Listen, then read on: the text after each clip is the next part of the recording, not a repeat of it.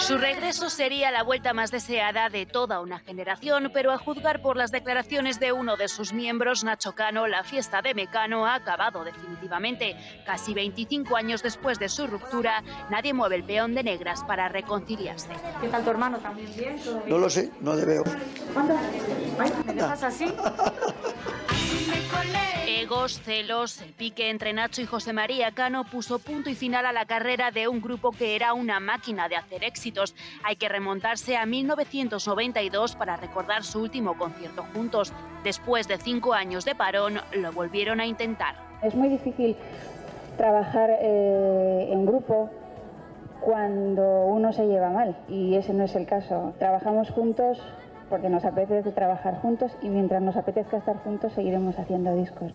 Poco duraron las ganas y la cosa salió como salió. A partir de entonces los hermanos Cano empezaron a componer y grabar por separado. Sus caminos nunca se juntaron ni profesional ni personalmente.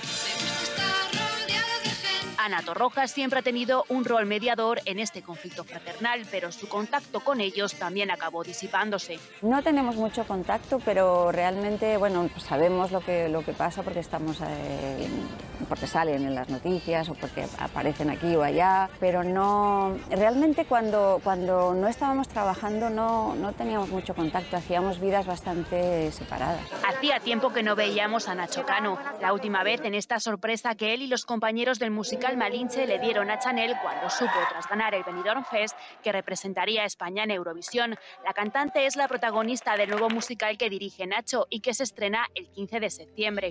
No me mires, no me mires, no me, no me, no me mires. Trayectorias que la fuerza del destino ha decidido que sigan separadas, aunque a nosotros nos cueste tanto olvidarlos. Porque te vas a horrorizar.